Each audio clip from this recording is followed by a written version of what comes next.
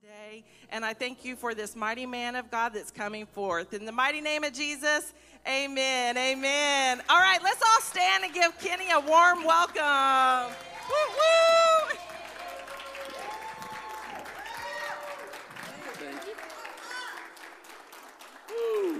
Hallelujah. Well, friends and family, how excited are we be, to be here today? Woo, all right. Who came to play church? Oh, that's what I like to see. All right. So that means we all on one accord. You see, you know, sometimes what the devil will do is he'll say things right at a right moment to make you assume that he's going to say something else to get you out there to say, oh, I agree. And then all of a sudden you're out there in the water because you, now you don't agree with something crazy. You see, but that's our mindset. That's how we think. We, um, it's a documented statement that was put out that says uh, human mind is so complex, it really only hears three or four of the words that are spoke to it. It fills in the rest. So when we're speaking, you hear like maybe two or three words, and then your mind puts the rest of the sentence together. So that's why it's so important for us to hear from the Spirit. Because your mind is carnal, it's made of this world, flesh and blood. And its, uh, its job is to fight against the things of the Spirit. Now, not because, you know, that's the way it was made it's because it's here living in it's the is produced by the rules of this world. So what's happening is as your spirit is speaking to you, your mind can't comprehend everything that it's saying. So what it does is it reverts back to its law. And it says, okay, well, that must mean that this is going on. So now your spirit is over here like, you know, okay, well, I, I, don't think that's what was supposed to be happening and something's wrong. We need a, we need a disconnect. We need to get back to here and we're over here. What's, what's going on? Come on, hurry up. So it was great what Pastor Greg said when he said, you know, people are not looking for you personally, they're looking for your spirit. They should never even see you, they should see your spirit. And so what happens it, you know, I used to think it was funny when people come up to me, never met me before in life, and they're like, you know, mom used to talk about it all the time. And I thought it was funny until it happened to me. And she's like, you know, you're standing in a grocery store, and somebody comes up and you're like, hey, how you doing? Well, my granddaughter ran off with this guy, and, and you're like sitting there, and you got to be somewhere. You're like, oh my God, I didn't mean I wanted you to tell me your life story. I just, you know, how you doing? That's that's it. But you know, I was like, you know, I don't got time for all that. And God said, you know, what are you here for? Isn't that your commission? You know, don't don't be mad at them because they're they're talking to you. See, they're feeling that you have the answer that they need. You see, but a lot of times we don't really want to give the answer. Because if we give somebody the answer, that means we have to live in the answer. You know, it's hard for me to tell my friends and family, hey, don't get upset. It's hard for me to tell my son, who was a carbon copy of me the, the old and the new. You know, he's coming, but there's some still some things he struggles with, and I'm just gonna be real honest, and I know he's not mad at me. You know, he get royalties, as my mom says. You know, you, will you'll get a little something from this. But um, you know, it's one thing to say, "Hey, don't get mad." Don't be like that. Don't have an attitude. If every time he sees me, all I have is an attitude. Yeah, that's right. That's right. And I'm mad all the time. You know, he might listen to me at first because he's like, okay, he's dad. I got to do what he says. But after a while, he's going to be like, man, you, you don't, don't talk to me about no attitude. You have attitude every time I see you. You know, you, so you got to do some different things. So that's the reason for the lessons that we've been having. You know, what Pastor says is, you know, you need to put your faith in action. All right, see, y'all on it. That's what I like to see. You know, we're not just practicing church up in here we live in church. You know, we try to do what we say we're going to do. Now, so what God was telling me was, you know, it's great that you're, you guys are saying that. You're saying all the right things, doing all the right things. But now I need you to teach them how to put their faith in action. And I was like, you know, uh, I mean, hey, God, I've struggled with that too. And he's like, who better else to say something than the one who I've had the most trouble trying to get to do it? I was like, all right, I, I get that, God. Okay. I'm with that. So The lesson plan for today is just three little steps that we want to give you to help you on the journey of activating your faith. The first one, it's, um, it's going to give you the reason why faith is so important. You know, it's easy to say, you know, you should do this or you should do that because that's the way we do it. But especially nowadays in these times, they're going to want to say, well, why do we do that? What's the reason for that? You know, you need to have an understanding of why you're doing something. Because if you're just doing something just because, just, oh, I just felt like doing it, then you're not walking in the purpose. Because God has enlightened your steps, He set your steps. So He's got a, a specific place He needs you to be going. So when you take it upon yourself to go somewhere else, that's all you. I mean, I'm, you know, I'm sorry, some people might not want to hear that, but that's all them. That's why it's important to be in the spirit. Because anybody can get up here and speak to you, and they can read out of the word, and it be, you know, pretty much correct. But see, the word is ever living. And that's hard to, that's hard for our minds to con- concept because it's a book. In our in our carnal state, we look at it as a book. But see, God said we live off every spoken word that comes out of his mouth. This is the spoken word that comes out of his mouth. So it ever changes from day to day. So what you read in here today may not be the same thing you read in there tomorrow. So if the only thing you're doing is getting up here and teaching somebody from the word, then you're only giving them 50% of what they're supposed to be getting. Because in order to activate the rest of the word that's in here, you got to be in the spirit. Because see, when Jesus when Jesus was going to the cross, he said, you know, I'm getting ready to lay it all down for y'all. But there's going to be one that comes after me. That's going to have every understanding to everything you need to do. Because he knew that his the, the carnal flesh man that he was held to this earth with was leaving. So that means there was not going to be any um, physical representation of him. So we were going to have to understand how to get to that other side, to that spiritual side. The other part is that is we want to teach you how to put your faith in action. You know, it's, it's another thing to say, you know, let's put our faith in action. And everybody's like, okay, if, if I get up and tell you, hey, we're going uh, we gonna, we gonna start these cars. But if I don't ever show y'all how the car starts or give you a key, it ain't no car that's gonna get started. And then the last one is what it looks like when your faith is put in action. Because there's a distinguished look. It's not just, you know, it's not the same thing as every day. It looks different. So the title of my message today is going to be Faith in Action, the Cause and Effect. See, there has to be a cause. There's a reason why you're going to put your faith in action. And then there has to be something that that faith in action produces. That's going to be a cause, the cause and effect. I don't know if you all have heard that. You know, one of my favorite subjects was in was science in, in high school. So, you know, for every action, there's a reaction. There's a cause and effect. So, what happens when you do this? What effect does it have on the situation? Well, see,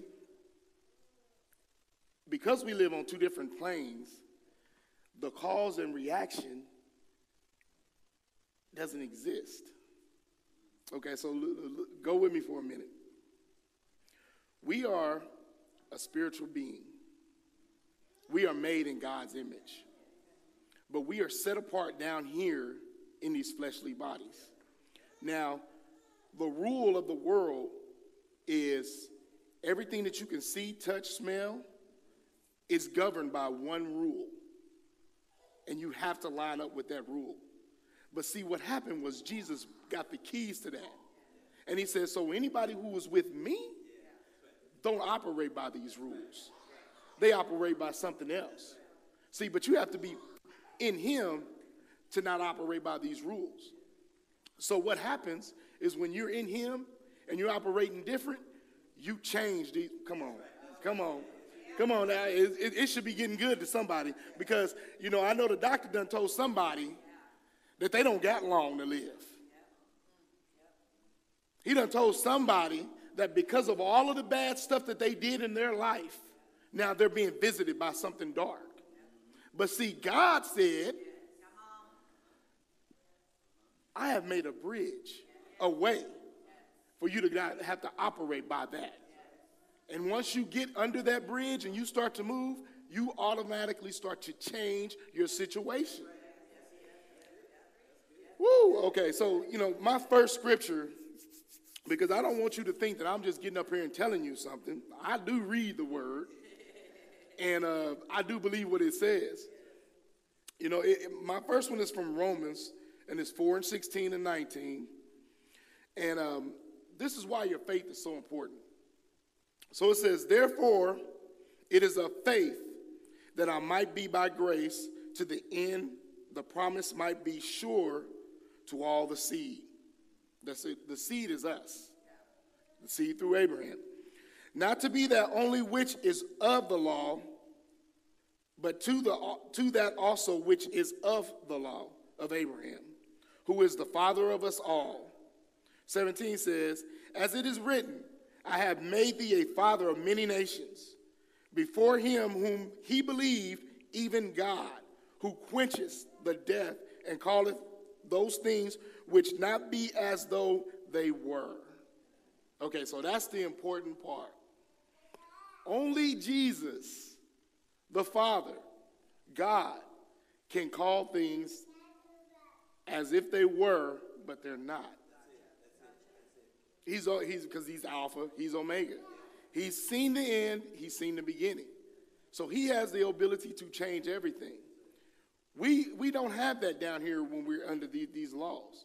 But see, when we get into the spirit, now we start to step on the, onto his blessings and his plan, then we can change that situation because we can do it through the seed.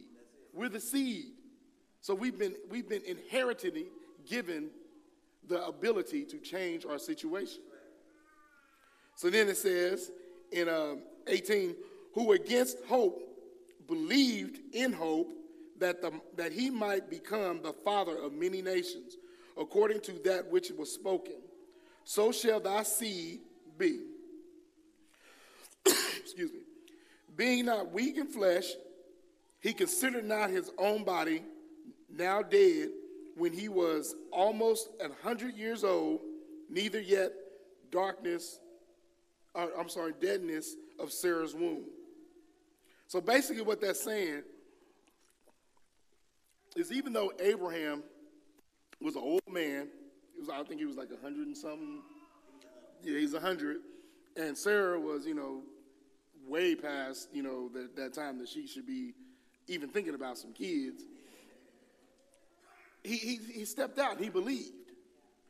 He said, you know what? God said this was going to happen, so therefore it's done.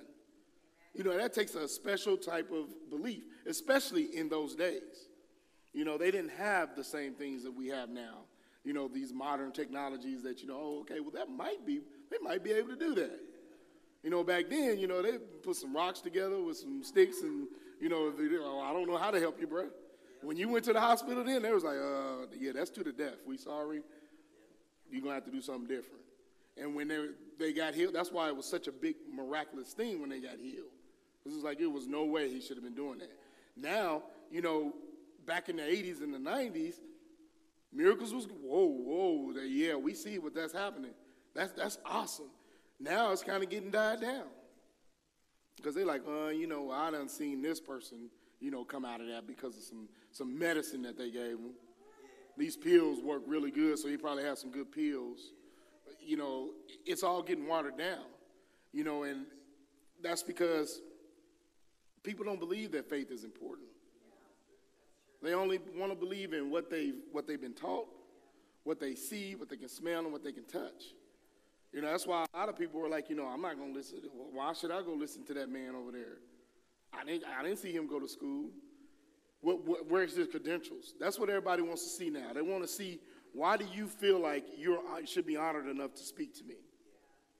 And that's the big disconnect. That's what's going to hurt us all. Because, you know, God's got some people that's got some words for us that uh, we might not think it should be giving us a word.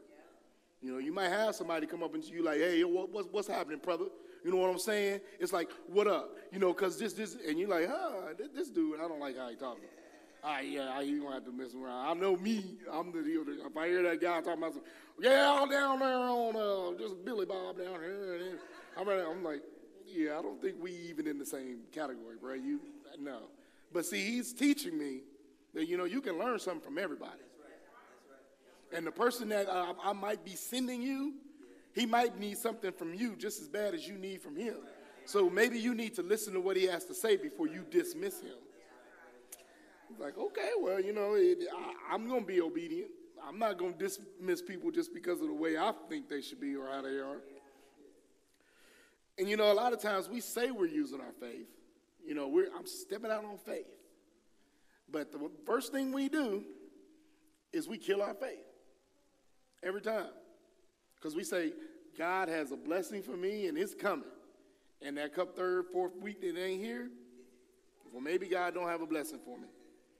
Maybe I wasn't supposed to get it. Maybe, maybe it was supposed to be something else. Maybe this is my test. You're killing your faith. God said when He says yes and amen, it's done. So if God is giving you a blessing, He's not going to dangle it out there, ooh, too slow. Oh, you got to be faster than that. He ain't doing that. That's us.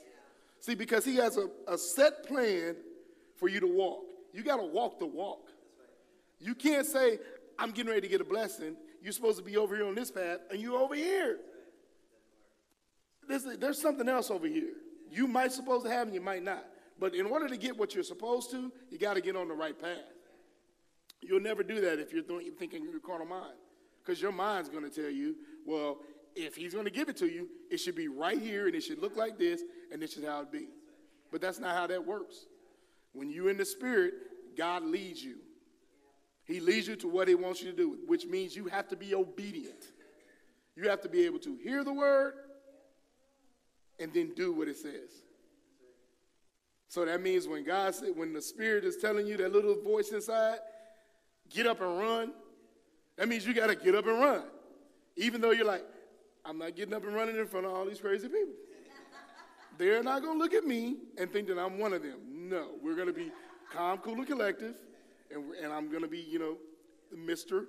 Irvin. You know, sometimes you got to be a kid for God. And it's not because he wants to embarrass you.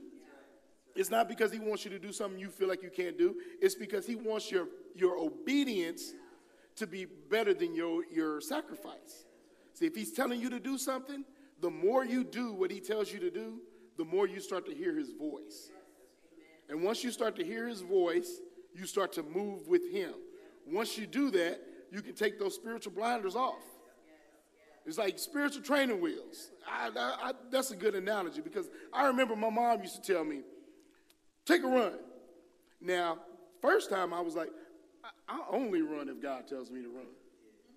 I'm not going to run because you tell me to run. That's not, you know. And then we got into this um, this leadership uh, conference, and they started talking about uh, respecting and uh, honor. And we, I mean, we'd had a whole class of that, and man, that class was powerful. It taught us how we were supposed to honor up and then honor down. And so it was like, you know, you honor your pastor. That means if he asks you to do something, you do it. And you believe that he's hearing from God. And then if he's not, you believe that God's going to chastise him, not you. Then you honor the people under you because they're going to get from you what they need to give to them to get back to you. Come on, y'all. It's a full circle. And we're all operating together. It works perfect. But see, we don't want to see that part. I didn't want to see that part. I was like, no, she just want me to run because uh, so it'll make her look good. But see, she had the answer. She knew that once I started to be obedient, when he said, get a message ready for Pastor Romon, I wouldn't be scared to get up here and do it because I was obedient. So all those times I ran around the church when I thought everybody was looking at me saying that dude is stupid. It worked out in my favor because now I'm blessed and highly favored. Now I can get up in front of you, having years of dyslexia, and read to you and tell you what God's saying to you. Because it's not about me. I'm not doing this. This would not be my first choice. I'm a behind the scenes type person. Like my wife say, we are just content to be behind the scenes, but taking care of everything. But say, see, sometimes God says do something that, that's uncomfortable. Because see, that's what's going to ignite your faith. It's it's um it's funny because that, that, that's all of the fight. We fight it. We we make it hard on ourselves because we kill our faith. We always try to figure, you know, and I don't think it's us, you know, trying to be lazy, but we always try to get the easiest way out. We don't want to go through hardships or pain which I, I, I get it. Who would? That, that's just a human thing. The body does not like pain. You know, but see, that's why he says, your light affliction. Mm, it's but nothing, see? But he's not saying, let me give you this so you can feel this light affliction. affliction. He's just saying, look, some stuff is getting ready to happen because where you're at, that's how they're governed. But I'm telling you, just go through it and once you get to the other side of it, you got breakthrough. You see, but we always automatically assume that, you know, well, not we, I'm not going to put myself in that. A lot of people think that that means God's putting some stuff on them. That's not the Father that I serve. Because he says, I know the plans for my people. They're for good, not evil, to give them an expected end. That means good things are from God, bad things are from Satan. Plain and simple. You know, people have thought about that all day. Don't say that's from the devil because you did it. Regardless of that, it's bad, so it's birth from the devil. You see, all this stuff happened when Satan tried to put himself over Christ. That entered sin into the into the equation. There was no evil, because light can't light can't uh, uh, abide with darkness. When Satan came and started doing what he was doing, all of a sudden entered darkness. And so that's why it had to be expelled from Christ. So see, bad's got to be from, he's got to be the, the author and the, the finisher of the bad stuff, just like the Father is the author and the finisher of the good. So it would be kind of futile for us to say God is putting us through the test. That ain't God. But you know what? Let's read it. I'll give you, I'll give you a scripture for that. It's in Corinthians 4 16 and 18. Now it says, For which cause was faith not, for which cause was faith not? But through our outward man perish, yet the inward man is renewed day by day. For our light affliction, which is but for a moment, worketh for us a far more exceedingly and external weight of glory while we look not at the things which are seen, but at the things which are not seen. For the things which are seen are temporal, but the things which are not seen are eternal. You know, I'm, I'm going to look at that in the, in the Amplified. Like mom says, we need to get screamed at for a minute. You know, Amplified is put everything on blast. Whoa! You know, just, and it's like, what, you, what the? Yeah, put it on blast a little bit so you can hear it a little bit better. So 4 and 16, and it says, Therefore, we do not become dis, disencouraged, spiritually exhausted,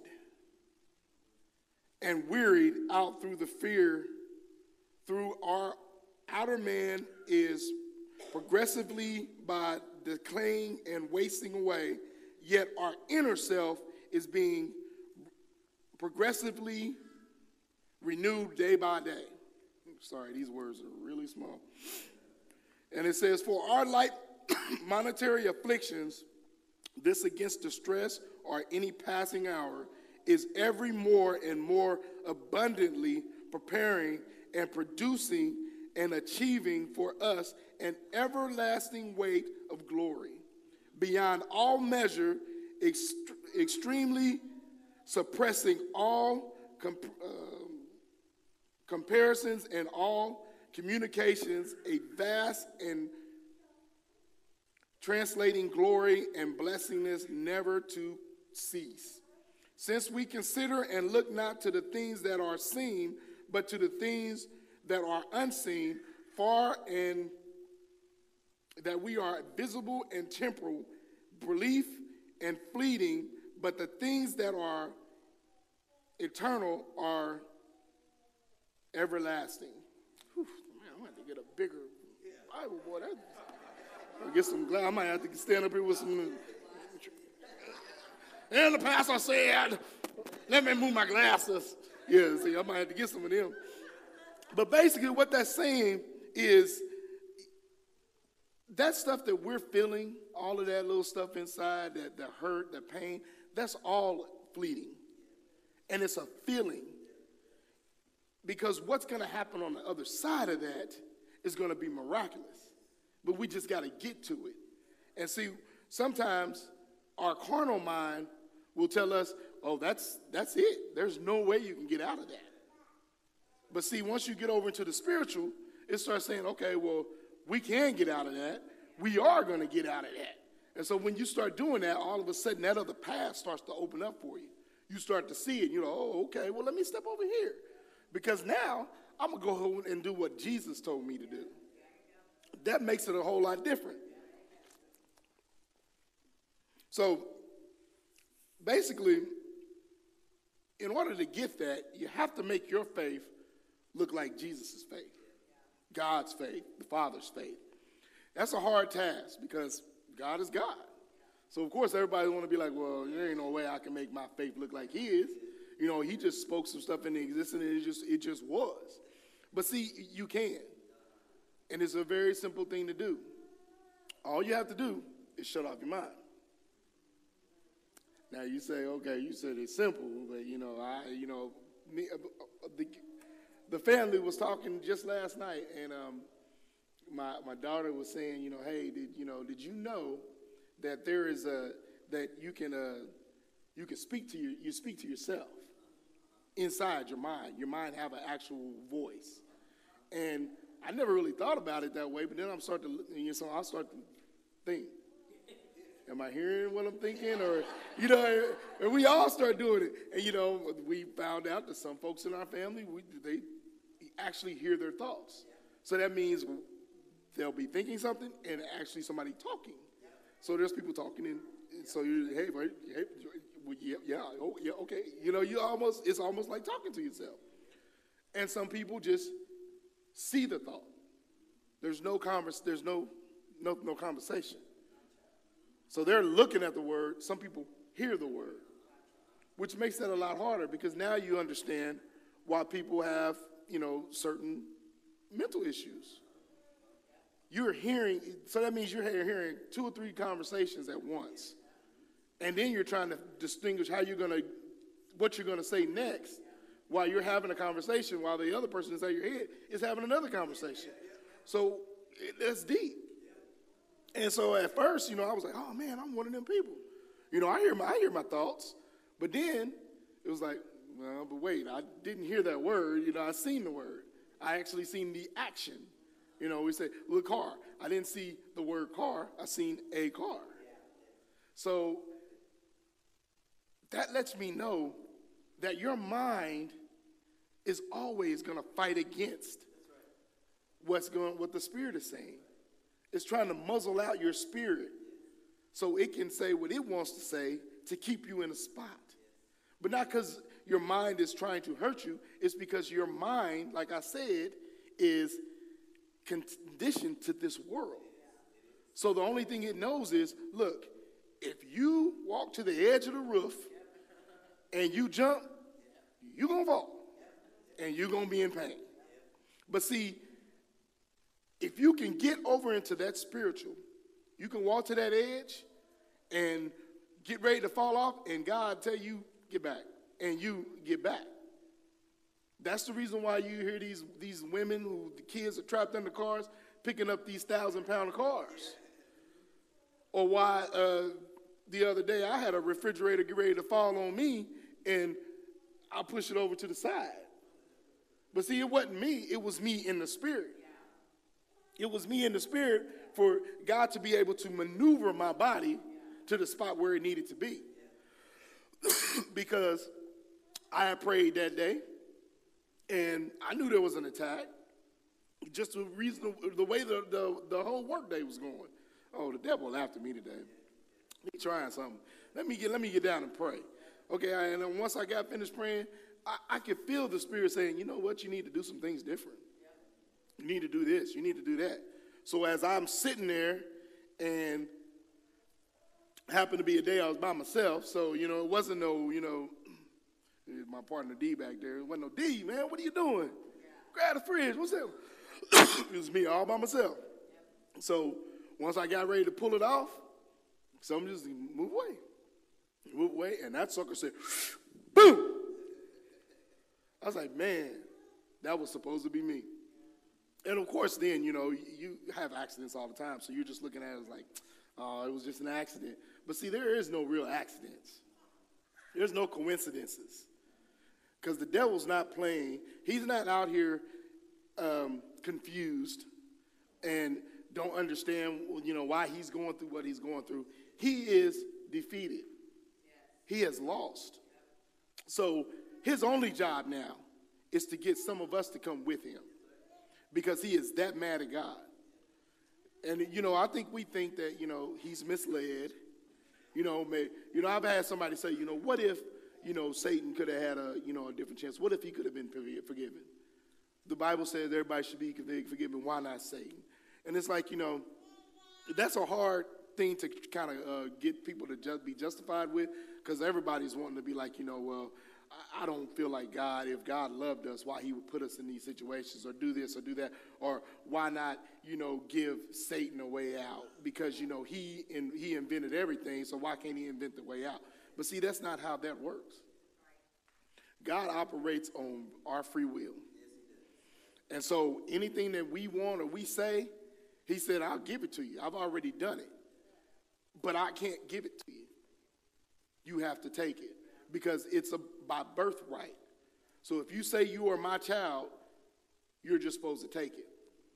Because I guarantee you this if you're Bill Gates' child, you're not going up to Bill Gates and, Daddy, I need some money. You're going up to Bill Gates and say, You're uh, uh, checking account 3745, Bill Gates' son. You know, that's how we're supposed to come to God. We don't see the evidence yet, but we know it's there because He said it's there. So go get it. If it's out there for you, if you can see it, you can get it. You know, but, you know, do we believe what we say? You know, we can say all day that, you know, I'm, I'm a child, I'm a God's child. I can get this, I can get that. You know, um, sometimes it ain't, you know, it ain't that simple. I know I've seen things that my mom has believed for for years, and she hasn't gotten them. But has she given up? No. And I mean, to the point of sometimes where I was like, okay, you, you've been, yeah, that's probably not going to happen. Probably need to go and get that one up. But she's like, mm it, it, it's, it's coming. I remember when I was first, you know, getting into the, the Christian thing, you know, I used to hear all these pastors say, you know, God's coming back. Jesus coming. I even have seen one say, Jesus coming in about 10 years. I was like, okay. Got to that fifth year. First, the first time I heard it, scared me because I was, you know, I was, I, I was young. I didn't understand. So I'm thinking, oh my God, you know, what all I got to do? Am I, am I okay? Uh, am I gonna make it? What's what's happening? You know, and so God didn't come back. Hmm. Okay. Second time, God didn't come back. But that third time, was getting to be a teenager, stuff ain't real. People, uh, people, man, people been saying that for years. I remember seeing a, a documentary one time, black and white, and Jesus is coming back. You know, but see, that's because I didn't have any faith. So I, I hadn't been cultivated in, in, in spiritual gifts and, you know, learning how to walk in them. So, of course, that's where we're at today. Everybody been hearing the same story, the same thing that we've been saying over and over. And the other part of that is they ain't really seen no fruits of any blessings. All they see is the church busting and disgusting. Them on the front lines fighting, and the church back here, we'll pray for you, brother. You know, that's not how that that's not what we're supposed to be doing. We're supposed to be front and center. That means when something's going on, when something's happening, the church should be the first one out there, first responders. What do you need? What can I do for you? Let's let's dial that situation down a little bit. Because that's not what Christ, what would Jesus do? You know, it's hard for a corrupt politician, a corrupt policeman, anybody to just act stupid and crazy with you when you quoting scriptures at them. When you saying, well, brother, I just love you. You know, God said, God this. Yeah, they're going to be a little bit at first, you know, whatever, but after a while, you can't fight with that. If you ever notice, you just go up to a bunch of people when they're arguing and you keep saying stuff about God, they're going to be, oh my God, this dude, man. But after a while, you'll see them start to go, yeah, okay, um, whatever, man, this is good, fine, I'm sorry. That's not because of you, that's because of that spirit. It starts to work, it starts to pull from that. It starts to see, hey, I know what you need. I got what you need. Just, just, just call. Just talk. Just, just let me know what you want. And all of a sudden, that spirit starts to break. Now, it's still going to be a little disobedience in there because that person's strong will. So it ain't going to just say, oh, well, give it all to me. It's going to say, okay, well, you know what? We're good. I'll let it alone. And then he's going to go and he's going to think, and he's like, man, there's something about that dude. And he's going to keep it going, keep it going, until finally he's going to, you know what? I want to figure out why he was the way he was, why he got what he got. Now, sometimes it's going to be a little bit different. And they're going to be like, you know, whatever, I don't want none of that. That's stupid. You stupid. Get out of my face. But see, the other side of that is it still de escalated the situation. Because when you're in the spirit, you start to walk the way he wants you to walk. Man, I, that's a lesson that I had to learn that, uh, whoo. I, I used to get, it used to be funny because my girls would be like, you know, every once in a while I come home and, you know, I'd play a, a, a song that wasn't so uh, spiritually uplifting. Or I'd had a bad day and I'm saying a, the word that ain't really so. I remember one time I said, uh, I'm peeved. My girls was like, Dad, you can't, you can't say that. I'm like, for what you want to be like, I am a grown man. I can say what I want to say. And it's like, you, but it's your kids. So when they're like, oh, I'm disappointed. Now you're like, oh man, I can't do that no more. But then you start to thinking, well, why come everybody else can say crazy stuff? And I, I say and they look at me like, oh my God, I'm going there. What's going on? But see, I started to understand that's how my girls see me. They saw me as there's one thing that I don't have to worry about, and it's him losing his control with God, or him saying and listening to the wrong thing because he's always going to do it. And it had to, it, took a minute for me to get to that spot where I was like, it ain't fair. Now it's a blessing, it's an honor. You know, I still mess up sometimes, but it's a, you know, and I can be like, you know, hey, look, I'm sorry I said that and I did, but you know, I was, I was a little upset. I'm working on it. And it can be different.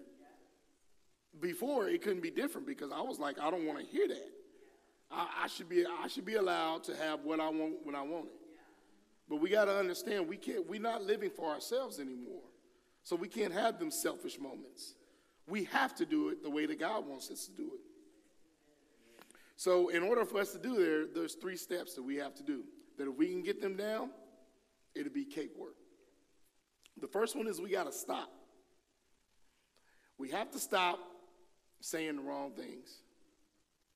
So that means when you say, when, let's just say, Pastor gives you a word and says, Jesus said that you're getting ready to get a brand new car. That means you're going to, when you say, all right, I'm jumping on board and I believe what you say, the month gone by, the two month gone by, the third month gone by, and you're sitting there and you're like, well, maybe I wasn't supposed to get that car. You have just killed your faith. Gotta stop. You know how long you need to believe? Because that's a lot, a lot of people say, I've been believing forever and I ain't got nothing. So you know how long you're supposed to? You know when you're supposed to stop? Never. You, if there's something you believe, like my mom, she is believing that all her kids is in the same spot at the same time.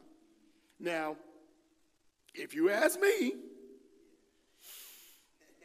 she might be waiting for a minute. But how long is she going to believe? Until the day Jesus comes back for her. And you know what? That is that's an awesome, faithful thing to have. And the, and, and the thing is to get all of your stuff. There's some things that that and I, you know, I love my mom, and I hope when she hears this, she'll be wow. But I believe there are some things that she doesn't have that faith with.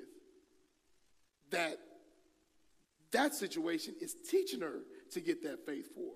Yeah, I know me. I know. There's a lot of things. Like right now, I can tell you, I, I, I use I do not get sick. I've, I've said that from day one, it, and there's been a couple of times that the devil is this has got me sick, and it makes you take a step back and like, whoa, God, what's going on? And it's like you know, hey, you can't have what you say you have and not be tested. It's not me testing you; it's it's Him because you're down there with him. But if you just walk your line, I got you. You're all good. You'll come out on the other side and, and we'll continue going. But see, usually when we get that opposition from anything, we automatically start to dis- dismiss what God told us we could have. And it's not because of the situation, it's because of our mind. So the second one is we got to look. We got to look at what God has already done for our lives. So that means all those little things that, you know, people will say, you know, oh, that's that's minute, it's not an even even big thing. You know, oh, he paid your water bill last week, Oh whatever. You need to start looking at those little things. Because all of a sudden they start to add up to big things. They start to add up to if you hadn't have got that done, this would have happened. And if this would have happened, that would have happened. But see, he went over here, he took care of that little bitty thing that, that sparked that whole thing to move a different way. And once you can start to get to that, all of a sudden it changes the way you perceive the Spirit. It's not something that's not tangible that you can't touch. You can touch the Spirit, which is what I, why we're trying to get you to operate in your faith. Because once you touch the Spirit, I, I guarantee you, that's all you'll want to do. It won't be nothing for you to get up and do a dance, do a jump, do a run. None of that, because you're going to touch that other side. And then the last thing is just to listen. You just got to listen to the Holy Spirit. That little small voice inside of you that's telling you, mm, yeah, you know you surely shouldn't be doing that. You should really turn the corner. You really should not go today. That's the most important one. You know, how many people can say, you know, I was getting ready to go to church and God stopped me and told me, just chill out, just stay home, we'll get it next week. And everybody else is like, oh, God ain't going to tell you not to go to church. But you know what? It's happened. I know their mom has a story, and it's a pretty powerful story. She told it a couple of times, but there was a man who was supposed to be doing a, uh, a meeting, and I think it was in the Virgin Islands or somewhere. Um, but there was a big uh, storm coming, and all of his other people went to church. They had already gotten there, and he was like, oh, I'm going to stay and I'm going to study for a little bit. He was studying. He couldn't get into it. Something was going on. And, you know, finally God was saying, you need to stay home. Well, of course, he was like, oh, get behind me, Satan.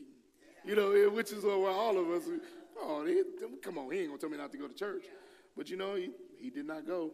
And where they, wherever they were going, or the, the, the passage between or whatever, uh, if he had been on it, it was totally destroyed.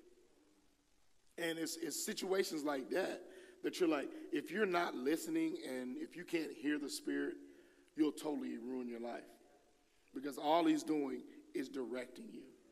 He's, he's got the path there, and his spirit is what guides you. It, it's hand in hand with you. It's like, come on, let's walk over here. But see, what happens we're like, oh, wait a minute, I want to go over here and see what's over on this side because it looks a little bit easier. And then you get over here, you left your spirit over there. That's the stupidest thing we could ever do. We leave the spirit, leave the spirit at home on, on the counter. And it's over there, we over here, and we walk in, and all of a sudden we fall in every pit stop. It's like, oh my God, you left me. oh, Jesus, I don't know what I've done to deserve. What is, he's over here. I'm still over here. I just need you to get back on track. You know, of course, he's really patient with us, so he's like, I'm here, bro, I'm here. But I know if is my God, I, he's probably over there like, oh my God, will you? What is wrong with you? I've told you, come get over here. That's how he talked to me, because, you know, we, we, we have a personal relationship. I hope y'all got a personal relationship, because he'll talk to you how you, how you talk. You know, and it's like I said when I first started, I ain't, probably ain't gonna hear that guy say, "Come on down here, and this Billy Bob." I'm not gonna hear that. But see, he, he talks to me like, "Come on, dude, what's wrong with you, bruh? Get up in there, do what you're supposed to do." But um, if we can get those things down, those three things right there, we gotta stop, we gotta look, and we gotta listen. If we can do that, we'll start to activate our faith, put our faith in action. You know, and that's what this series is about. And it's, you know, man, it's been it's been a powerful season, series. You know, Pastor, you know, Romon's Pastor Don and um, Pastor Greg, they just lit it on fire to make it easier to just walk in and you know I could have just really just put some notes together and just kind of just rolled rolled their wave and just been like okay we good but man you know I do I hope y'all got something I hope y'all got to understand a little bit more of an understanding on how to put it in action and what is what it's really containing. It's not, you know, a um, a tangible lesson. It's not something that you can touch or see. It's it's all about your mentality. It's all about breaking down that mindset. And that's the, the biggest disconnect that we all have because everybody's like, you know, my mind's good and boom, I believe this, I believe that. And it's hard to get people to understand everything that you think is important. The way you think it is going to make the way you produce what it is that you're trying to get. If you can think it in the spirit, then you're going to get spiritual things. But if you think it of the world, it's always going to be a worldly outcome. You know, if you're trying to figure out how you're going to make the $1,500 that you need for your mortgage or your car payment, you're going to go out and you're going to be, you probably work harder, you know, than you need to. You know, do three or four jobs and come home tired because you've worked every day.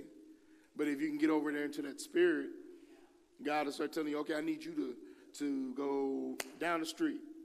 I need you to say hello to that person. And when you do, how that person's like, you know what?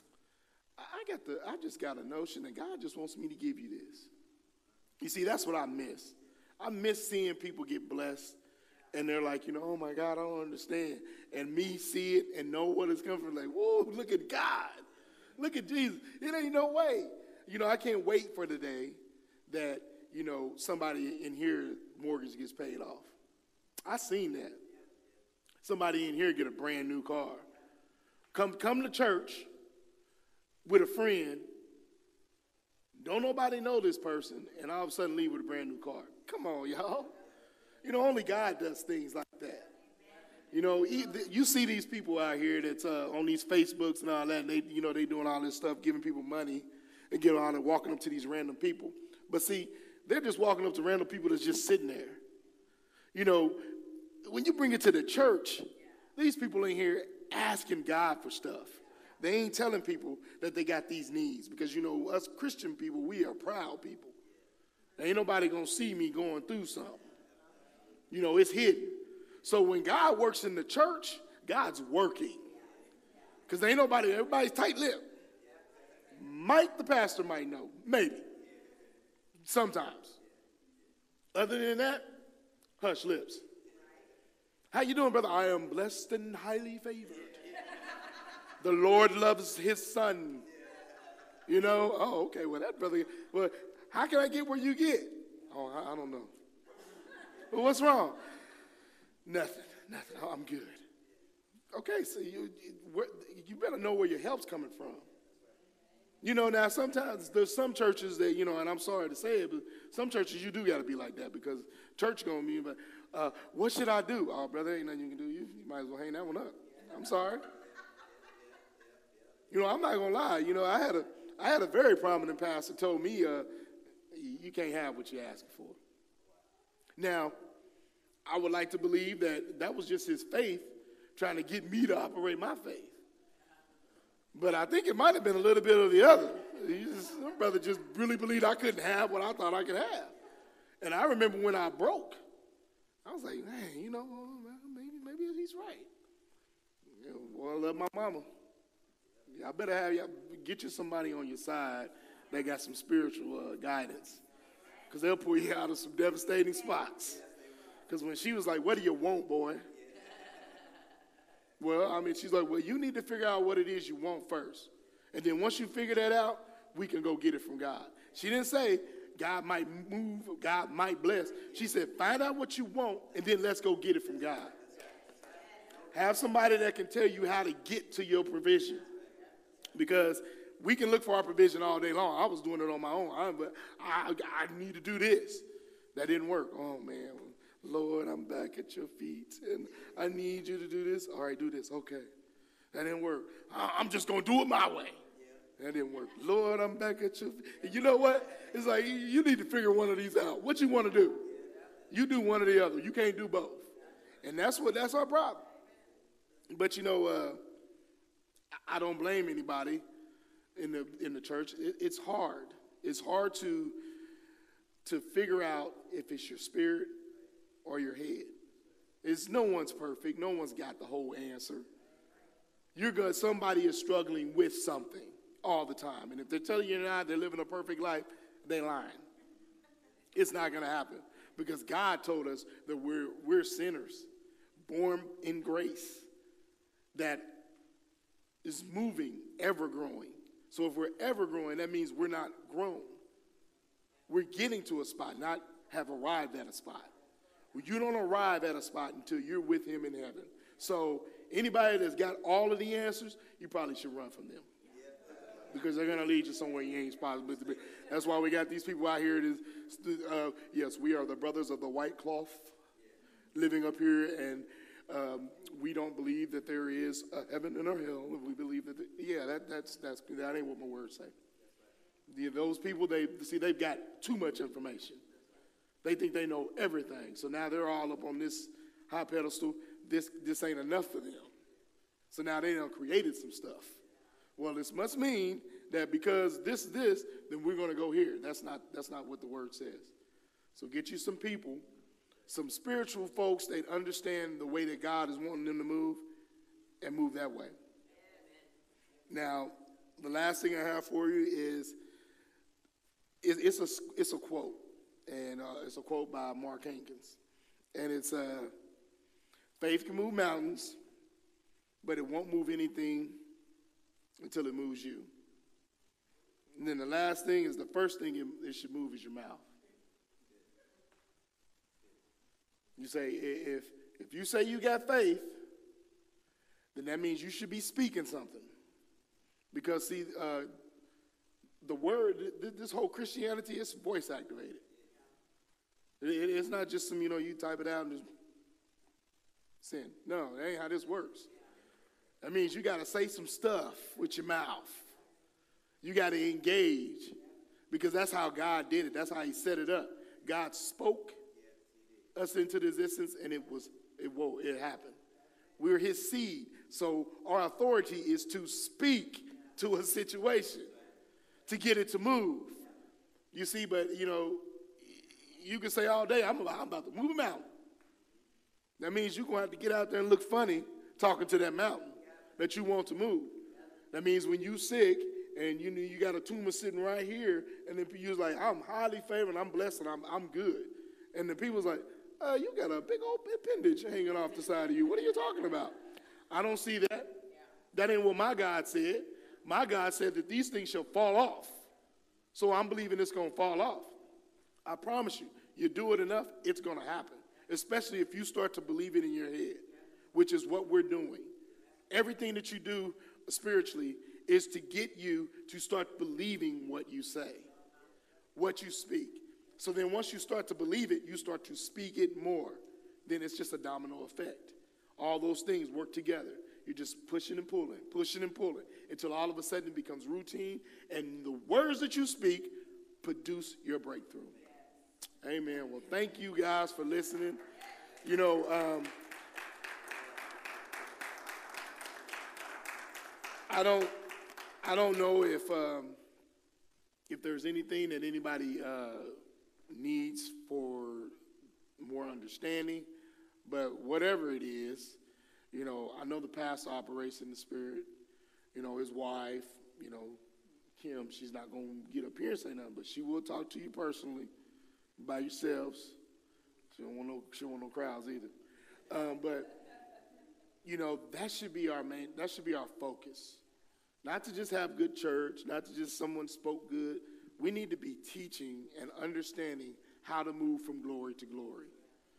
You know, God has so many blessings in store for this church, but we have to move a certain way to get to Him. He's given us some just because it's like, you know what? The remnants of blessing, when you move the way I tell you to move, is just going to overflow. So you're going to get some of it, but that's not the full potential of where you can be. You're going to have to speak some stuff to get to the other side. And if we could do that, man, this church is going to be so, I mean, amazing. It's already amazing. So imagine what it's going to be like when that happens. So we need to start to understand the way to get there. And we need to be more diligent on teaching how to get there.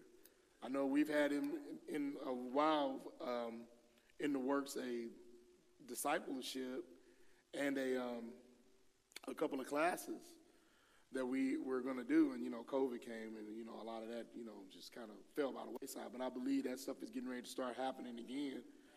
And um, I believe with that are the keys to everybody having the ability to walk out of here and set some people on fire.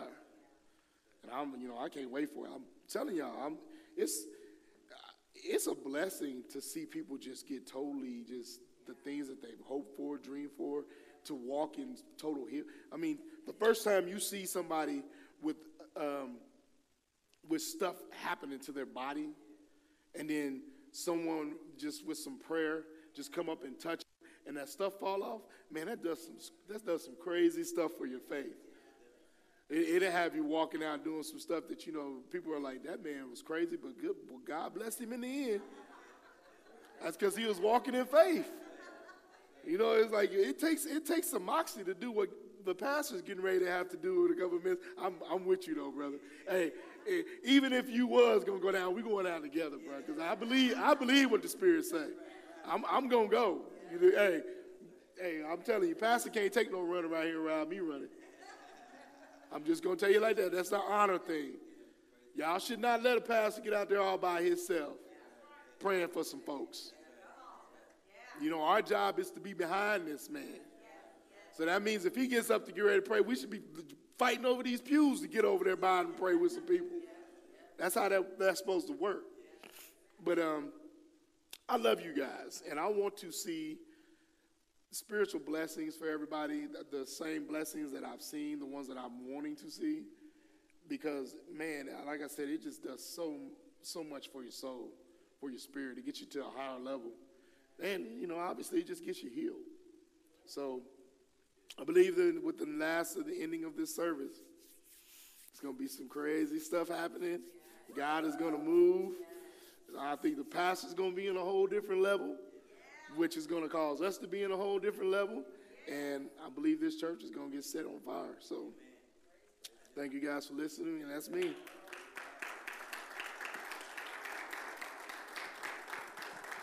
Come on, Restoration Church Tulsa. Y'all can do better than that. Come on, this man, this man is not cut out. He thought he couldn't come up here and speak, but God's using him. All right, we're going to close the service. If you guys will stand with me, I got to give you guys a warning. Uh, what he spoke on today was, was good because, you know, when we first got to this church, before we were asked the pastor, my wife and I, we knew we were going to buy a new house. You know how long it took us to get the house? Five years. We even had a moment, it was like, well, maybe God wants us to stay here. Like, no, stop it. I told you you were going to get a new house. And then when we get the house, even today, we go in our house, we're like, I can't believe we named it. This is all God. It's not us. But I say that just to remind you that God is working, still working. He's a miracle worker. And I also want to warn you guys next week is a healing service. God asked me to close this series with a healing service, meaning people are going to be healing. That means I have to get out of my comfort zone, and He's telling me to heal people. I'm like, God, you talking to me? He wants me to heal people. That means if you have any ailments in your body, you're going to be healed next week. You got to come with your faith, though. Your faith has to be in action. He's telling me that people are going to get breakthrough. They're going to get the answers they finally wanted. How about this? If you know somebody, this is your job, your assignment. You got two assignments. You're not going to like them, but you got to put your faith in action. The first assignment is you got to invite somebody that you know needs healing. Okay, next week. Ooh, I'm putting myself out there, but I'm being obedient. I'm putting my faith in action. Got to invite somebody, bring somebody. The second thing is you're not going to like this one. You got to fast this week. Uh huh. You got to fast something this week. Why? Because God is saying the reason He always tells us, if especially He said to tell you that if you didn't fast at the beginning of the year when He asked us to fast so that we can move things this year, here's your opportunity to get it right. But He wants us to fast just for seven days, from today into next Sunday. And when you do your fast, you are cleansing yourself. You're moving things out of the way so that you can get whatever it is you need your healing, your breakthrough, your financial breakthrough, your relationship breakthrough, whatever it is that you need. You got to come prepared. Now, don't come next week expecting something and you didn't do the work. Okay? God can still work in that. He'll, he'll work with those knuckleheads. But I'm just telling you, if you really want your breakthrough, you got to put your faith in action. Amen. Amen. It is such a blessing to be here today. Thank you, Kenny, for that word. Thank you, Kenny, for the word. Hallelujah. I told you guys this was going to be a deep dive, one of my most dynamic series, because I knew I thought it was just going to be dynamic because of the studying and the different angles from different pastors. But God's taken us even deeper. Healing service? What is that? I, have never done that before. Let me just put that out there. But I'm just going to do whatever God tells me to do. Amen. So I'm going to pray right now for us all. Hallelujah. Thank you, Father, for your word today. Thank you, Father, for this series. Thank you for us waking up this morning. Thank you for those watching online. Thank you for those in the building. Thank you for those who are coming to this place. Thank you for those who are lined up waiting to come, who, who are just waiting for the release, dear Heavenly Father. And that release is this church's obedience in everything we do, not just some things. Thank you that you have presented in this church and brought about obedient people, people who are ready and willing to do your work. I thank you right now, Father, for those people in this building. And I thank you for those who you're about to add to us. And right now, I pray a special anointing and blessing over those in this building and watching online that you will begin revealing to them the things that they need to fast from this week, revealing to them the things that they need to cleanse from their minds, cleanse from their hearts, cleanse from their spirits and their souls so that they can hear from you clear as day this week. And they can receive whatever you have for them next week. I know there's some thinking, Lord, I don't need nothing. I'm going to be good, but I'll be here. And they're going to still receive something, dear Heavenly Father. Re- reveal it to them as they go throughout the week and they're obedient and trusting you in fasting. Thank you, Father, for even though it's a last minute request from you, you're teaching us how to just go when you say go and do what you say do and just be there to do your work, dear Heavenly Father. So, right now, I pray a special anointing and blessing over each and every person in this building and online that you would bless their families, their vehicles, their houses, their children, their pets, their businesses, whatever they touch right now. Let it be covered in the blood of your Son, Jesus. Let that anointing fall wherever these people are, not just in this church building or the parking lot, church parking lot, but wherever they may be. Let your anointing follow and let it fall. In your son Jesus' name, I pray this. Amen. And before we get out of here, we have to do God's work. We have to start now. And so, if there's anybody in this room who has not received Jesus as your Lord and Savior, raise your hand. We're going to pray for you. We're not going to embarrass you. We're not going to belittle you. We're just going to bless you. Hallelujah. that's not you. If there's someone online, there's always somebody online who needs to put your hand emoji in the uh, the chat. We want to pray for you and you're not going to pray alone. The church is going to pray with you. Amen. So let us pray right now. If you pray this prayer, hallelujah. Dear Heavenly Father, I'm a sinner in need of a Savior. And today I repent of all of my sins. And I choose Jesus Christ as my Lord and Savior from this day forward. Amen. Amen. Hallelujah. If you prayed that prayer, get in touch with us. We want to follow up with you. Get in touch with us on our social media, emails, and all of that good stuff. God bless you for watching our broadcast today. We hope that you were tremendously blessed and that you had an opportunity to grow closer to God through His Son, Jesus. And we would also love to partner with you in prayer. If there is anything that we could assist you with regarding a prayer or something we can partner with you in your prayers, just send us an email to restorationchurchtulsa at gmail.com and we will join you in prayer. Until the next time we meet, God bless.